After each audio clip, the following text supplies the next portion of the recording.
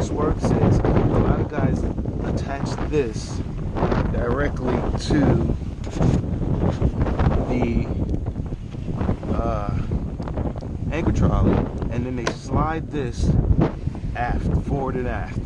And I don't connect this directly to my anchor system because this is not a quick release. If I click this here down to the back, then if a wave comes or I need to disconnect really quickly, I won't be able to reach it way back there. So that's not a quick release system in my mind. So what I do in that case is I take this rope right here, which has uh, some heat, heat shrink me and some zip ties, and I clip it onto this, like so, and then I run this line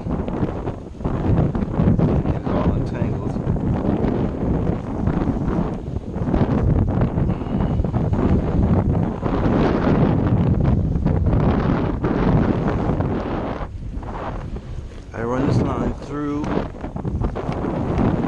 my anchor trolley like so.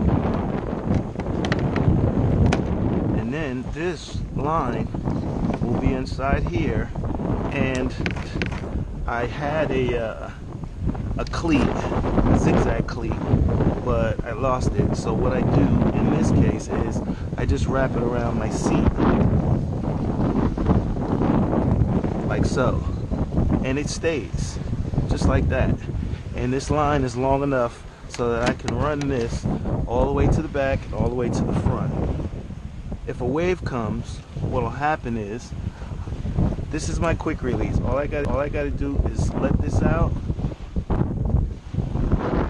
Bam. And this line runs all the way through thereby releasing my anchor very quickly that's how I use my anchor for a quick release anchor system. To me,